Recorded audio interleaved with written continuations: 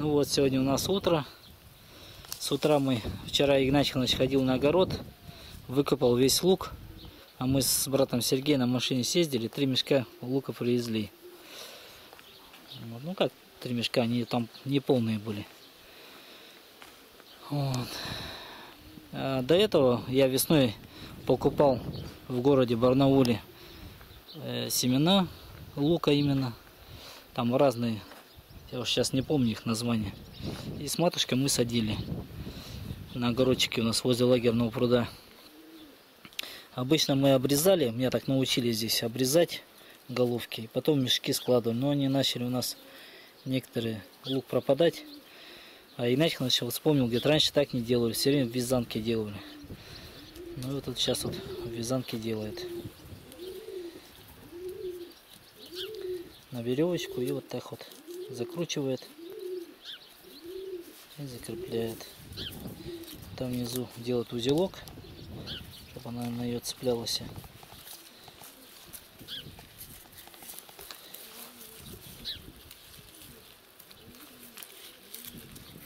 И все, он потом будет висеть, сохнуть и уже не пропадет.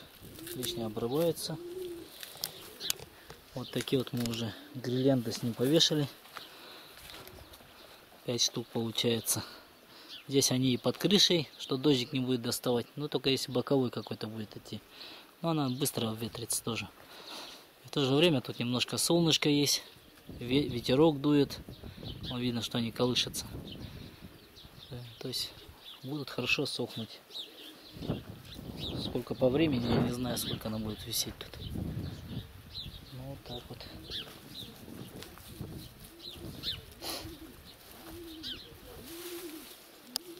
Смотришь. Ну да, я рассказал. У нас как хранили. В прошлом году пропало луку сколько лежал в коробках, в целлофановом мешке. Не целлофановом, а пропиленовом. А у нас вот где русская печь, затвор. Вот это пространство называется куть. В кути, на вкути. А где? Да в кути. А за русская печь, она не вплотную к стене стоит.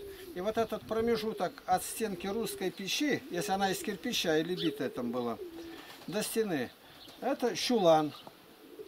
И там вязанки лука висели. Никак больше не было. Вот главное, ни одна луковка не пропадет. И оно такое и тепло, и в то, в то же время все на глазах. Вот взял ее, теперь подниз, луковка внизу, а это вниз.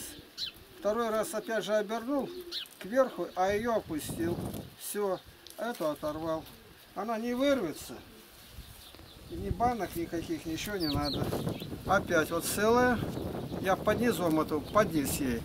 Второй раз завернул кверху. То есть она сама себя затягивает. Дальше вот так. А теперь сюда она ложится. Я показываю.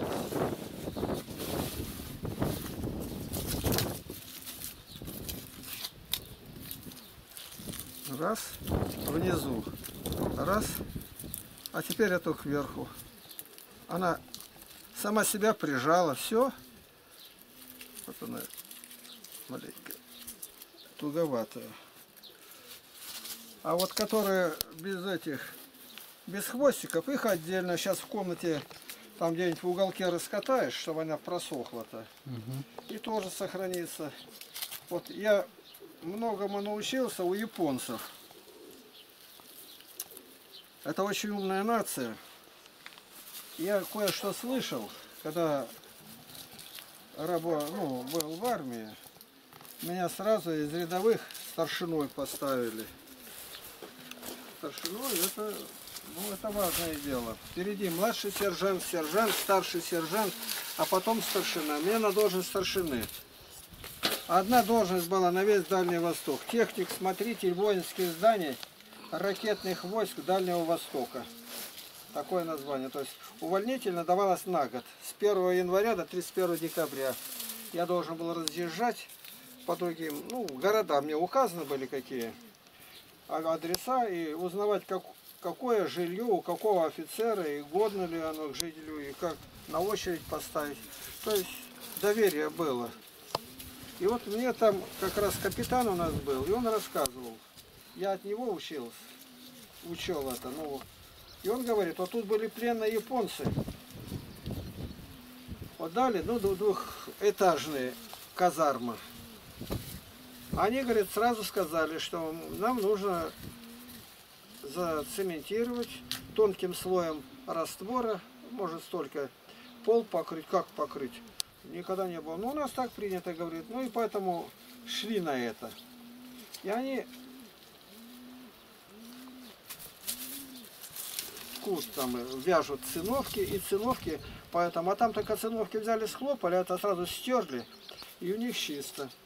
И вот говорит, как у нас, вот у нас как, бывает, человек самоволку ушел, ну пришел он там среди ночи, там его пропустили, все.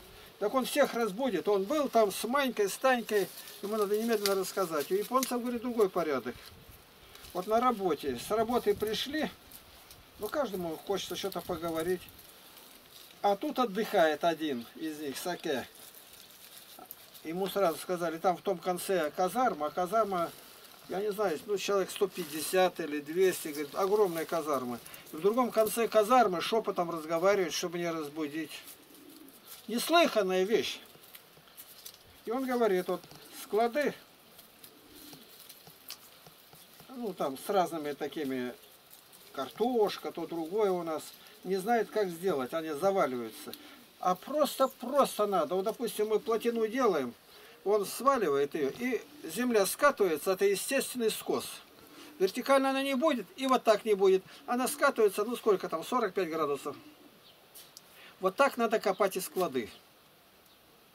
Это я понял. Вот. Я смотрю, Андрей вот Устинов, у него все так сделано. Ну, так это за природный это закон. И как хранить? Вот, допустим, морковь. У нас только морковь пропадает. Вот морковь ее, значит, с хвостиком и верхнюю часть срезают. Зачем? Чтобы не росла. Ну а дальше-то что?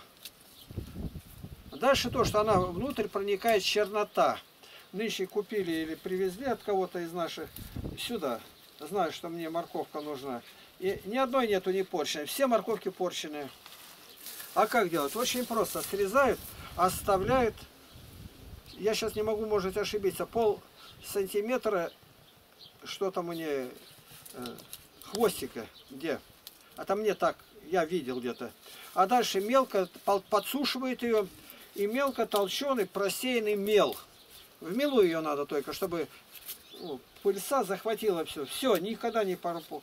Но она не то, что там в холодильнике держать, никто холодильников-то не знал.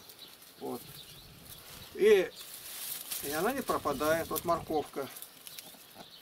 И вот, вот он мне рассказывает, говорит, вот японцы, дрова пилить надо там. Они вышли, а какой длины? Да пили, не будет пилить, пока не покажешь. Ну какой? Ну, примерно, э, не, не примерно. Он ему дает палочку, покажи, отчеркни ногтем. Он отчеркнул. Они из нее мерки сделали, и каждое полено они меряют им. Вещь невиданная, чтобы да только я дал ребятишкам, вот здесь пилят они, вон козлы стоят. Видишь? Покажи. Да. Вот. И около каждого козла отпилил палочки. Ну, они неровные, но примерно я уже вижу-то. Через час прихожу, могут ни одного нет. Они их уже... Я их делаю, чтобы э, не, они не перепутали с поленьями. Я привязываю веревочки к ним. И они вместе с веревочкой их утащат в эту в поленницу. И вот я с ними не встречался лично с японцами. Но вот это просто понравилось.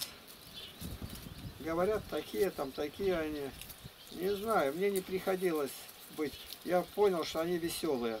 Как-то я в Киеве стою там на паперте в церкви, а в это время японская делегация идет. Ну, это 70-е годы-то. Вдруг они, видимо, с собой уже договорились, соскочили ну, этот, из делегат там женщина, а там мужчины. Главное, мужчины двое. Подскочили меня под руки и развернули там где к этой делегации и сразу щелк, щелк, а сами хохочут, а мне какая разница.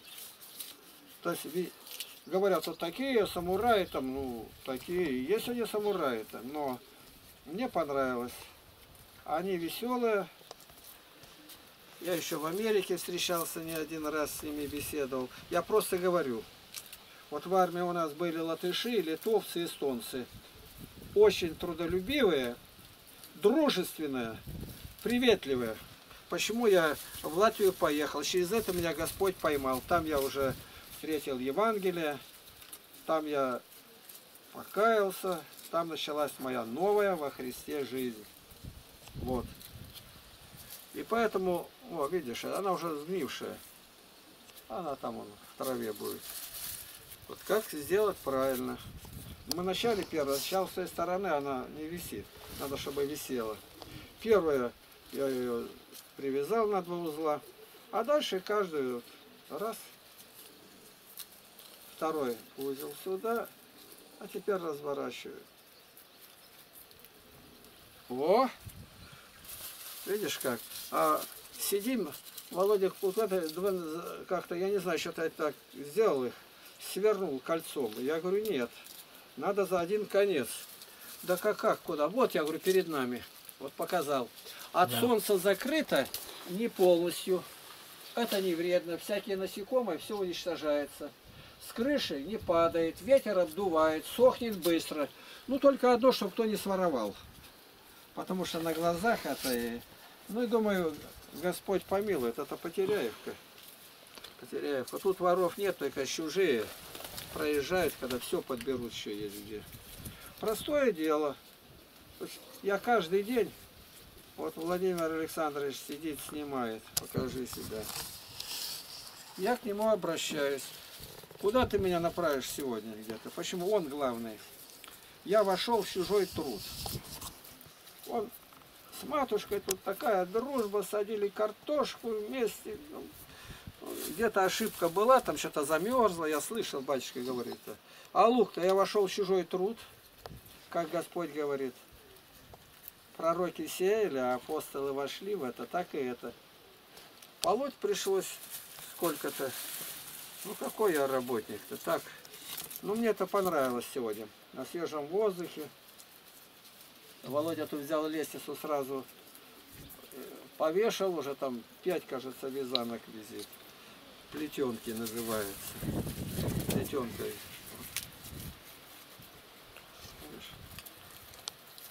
Ну это такое дело. Вот и все. Зима обеспечена. Нам есть что будет дать кто-то, приезжий там или как-то. Нас Господь научил искать не просто, а искать нуждающихся. И поэтому на собрании я всегда спрашиваю, вот приезжаем мы, кому картошка нужна?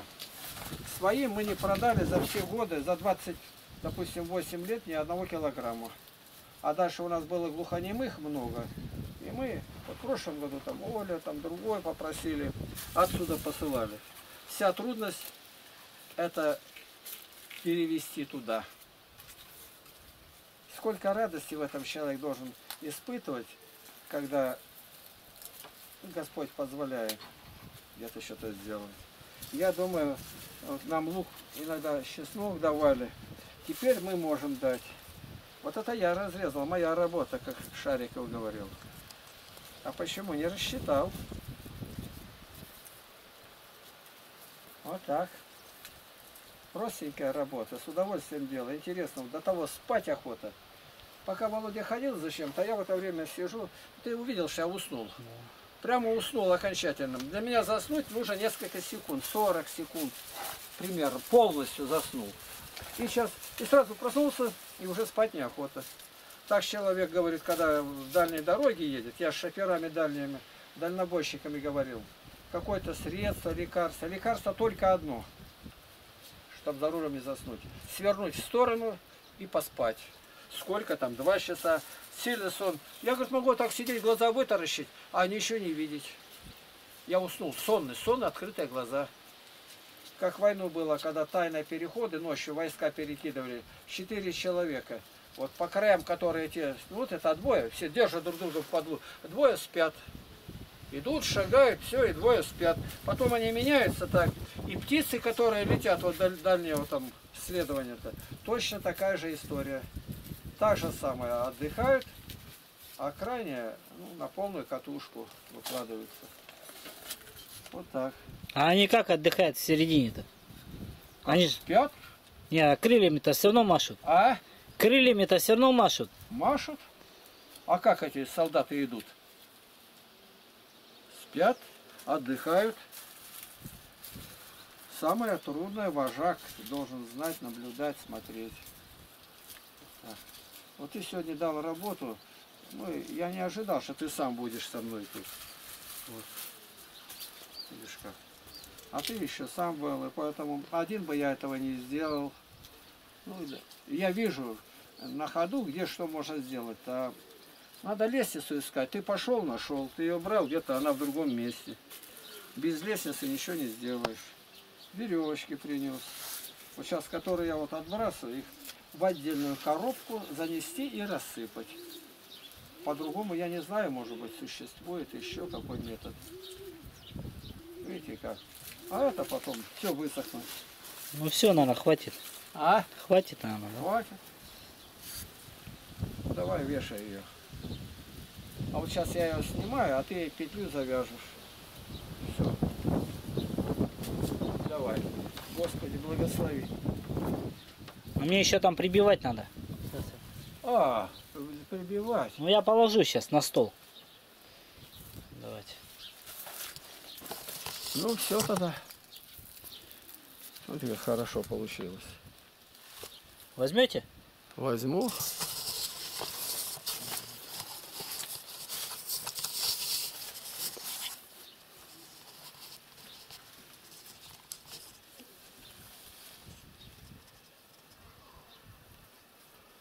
Это я четвертый уже сплел.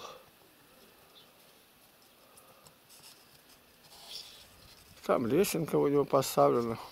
Видите, как ветерком покачивает их.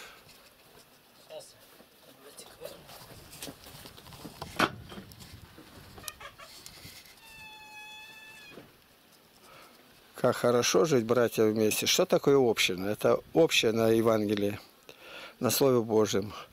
Общее это бывает у преступников общак. Община, настоящая община, может быть образована только Духом Святым. Когда люди действительно обращенные к Богу. Когда община есть, то люди посторонние, они не могут преобладать в большинстве. Они есть, их не заставишь и не приходят вечером на богослужение в субботу, не остаются на занятия. Ну, видно, что рано или поздно они отболеют. Тут иногда ка- касается так. Я говорю, вот такого-то крестил батюшка. Ну, ну а как я его могу проверить? Все вопросы, какие я задаю, он отвечает, ходит на занятия, верующий. Это не все. Он внутренней перемены не произошло у него. Это перерождение. А с- родиться свыше – это другое рождение. Все тогда. Вот так. Володя сейчас будет там загибать крючок.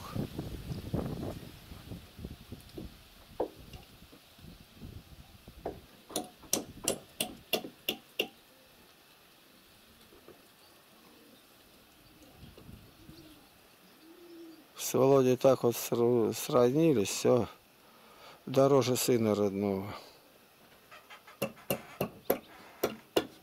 Рыбачим, где можем, помогаем, дороги правим, пруды, правда, они сами не будут, дамбы, а сейчас на такой скорости по дамбе гонят. Сегодня договаривались насчет песка, не знаю. Сломался. А? Гвоздь сломался. А, Так вам продавать можно. Ну тут немного. Что, Надежда Васильевна? Лук тут еще говорю, а я, вижу- а я мешками покупаю лук в Барнауле. Давай, А у них свой. Давай я у вас лучше. дока- докажи всем, А? как она смотрит, кошка. Ну ладно. Я еще не закончила. Я пошла за. Это наша рыжая кошка, она эту территорию охраняет. Кроме нее еще пять кошек. Надежда Васильевна наградила. Кому-то попросила котят, выросли, а никто не взял. Гоняет всех, а все это ее родня. Бьется за свою территорию. Рыжая называется. На трех ногах была. Я давили ногу, тут один был парень.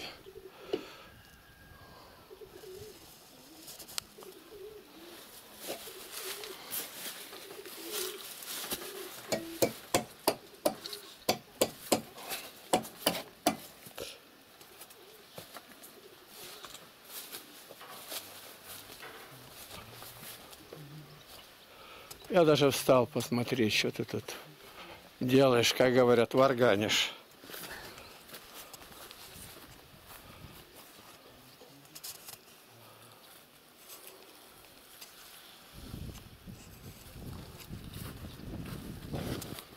Видите, как хорошо. Это вот Калашников построили. До того крыша хорошая, там голубятня у меня. Вообще чудо. Все. Пожалуйста. Раз, два, три, четыре, шесть вязанок. Плетенок. Ну еще одна будет. Будет. Даже может две.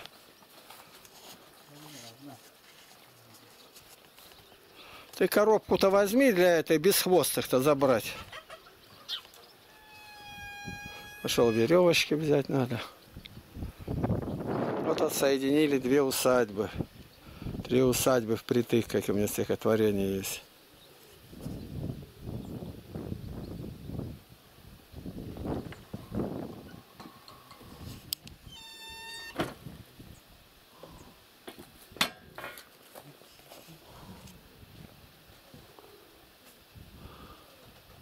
Вот это проход туда, и это облепиха.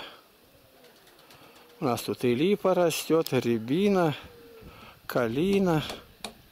Это деревья такие, ветла береза. Тут Лапкин Павел был, Никита. Ну, на лето, как общежитие. А это моя голубятня. Понятно. Лестница. Я каждый день хожу. А в городе там уже пять голубей погибло без меня. Пшеница, когда едят, а там есть такое шелуха от пшеницы, только она похожа на пшеницу. Ну, ботва, так скажем. И не убирают. Ее надо новой насыпать, а другое мешки. Все.